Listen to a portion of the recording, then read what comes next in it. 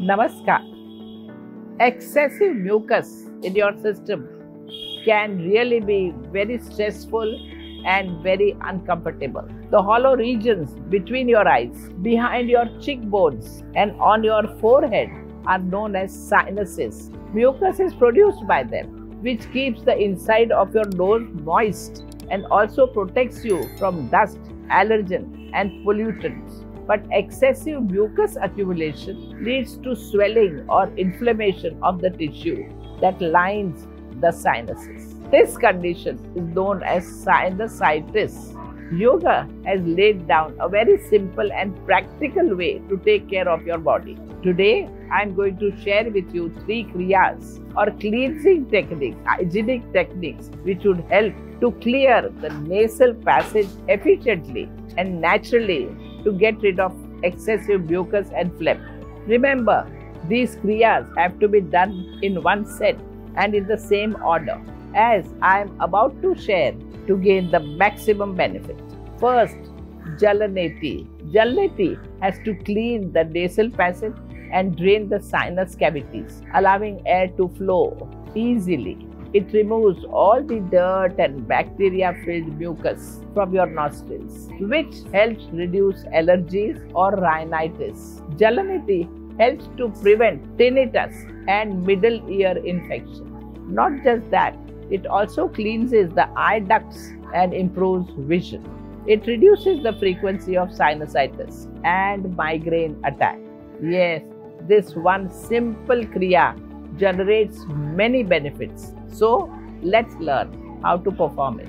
Take a cup of water, preferably boiled and cooled to the required temperature. Water's temperature should be little warmer than your body temperature. Add a pinch of salt to the water to taste like tears. Wash your hands, stand comfortably, cup the right palm and pour the water into your palm. Holding your palm near your face, close the left nostril with the left index finger and bend forward to dip your right nostril into cup palm. Now here inhale deeply so the water is sniffed into your nostril. After the water is sucked up into the nostril, immediately bend the head forward and the water will flow out naturally from your mouth and from your nose. Repeat the same with the other side. Next is Kapal Bhati. This breathing exercise is mainly to clear the frontal sinuses, sinuses on the face. It removes excess phlegm and excess mucus from the sinuses and the nasal passage too.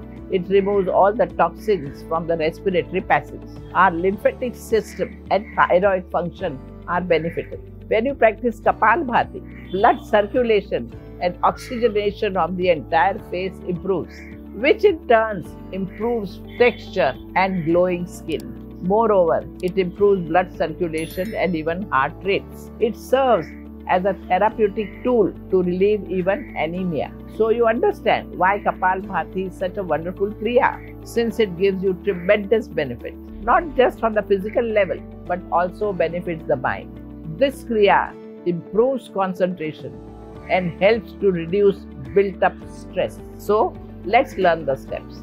Stand or sit in any meditative posture.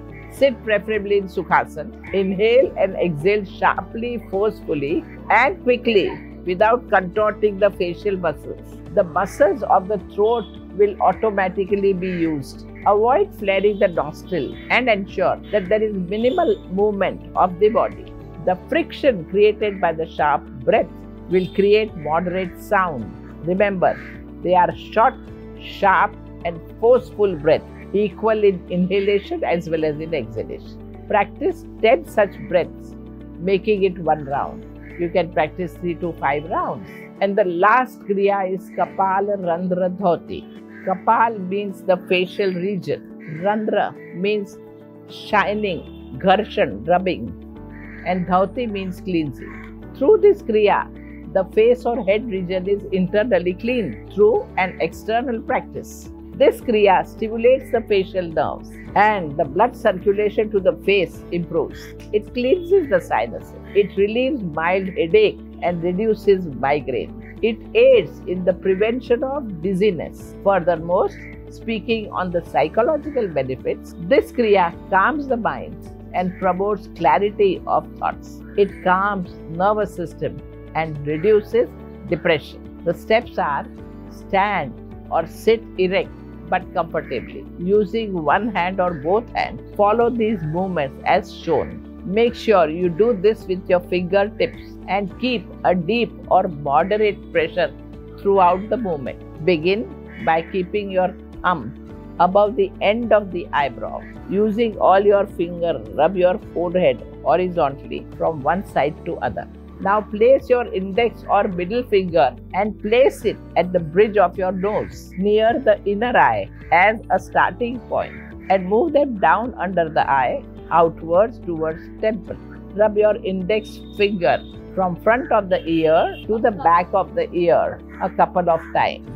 This practice can be done twice. In case of acne, pimple, dry skin or any other such problem, avoid rubbing the skin but simply go over the said facial area through a pressure and release the pressure. In case of very dry skin, you can apply a little cream or moisturizer or any facial oil and do the practice. So these are the best three kriyas to be done on a daily basis in the same order to get rid of all mucus and phlegm. It cleanses the nasal passage and a person breathes freely. Remember to avoid such foods which can cause mucus accumulation in the body, like cold drinks, ice creams, and things coming out from refrigerator to be eaten immediately.